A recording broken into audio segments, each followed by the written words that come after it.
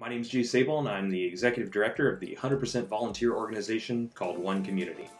I've been volunteering full time and leading this project since 2010. Here's what we're all about. We believe creating a sustainable world is possible through a self replicating and open source model. And what you see happening in the background here is just a taste of what our all volunteer team has accomplished since beginning this project in 2010.